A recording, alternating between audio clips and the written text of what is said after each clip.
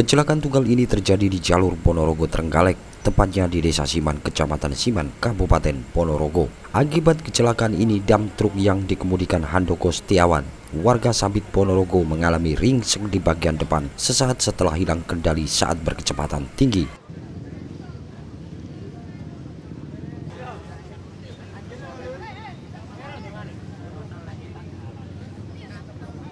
Selain ringsek dam truk yang menabrak tiang listrik dan pagar sekolah dasar ini jadi tontonan warga hingga membuat jalur Ponorogo Trenggalek sempat macet karena banyak pengguna jalan yang ingin melihat kondisi truk yang terlibat kecelakaan.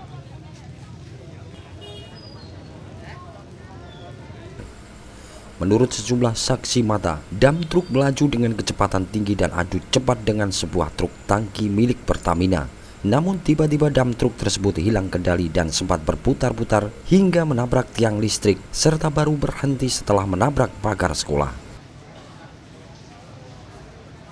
Nyalip tangki, Hmm. nyalip tangki terus putar gitu.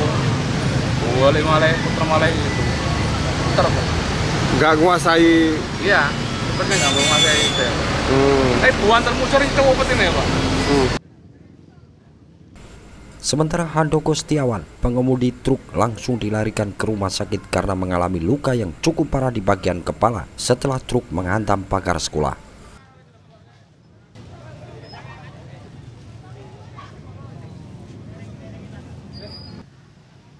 Akibat kecelakaan ini arus lalu lintas dari Ponorogo maupun Trenggalek sempat tersendat karena banyaknya warga yang menyaksikan kecelakaan tersebut.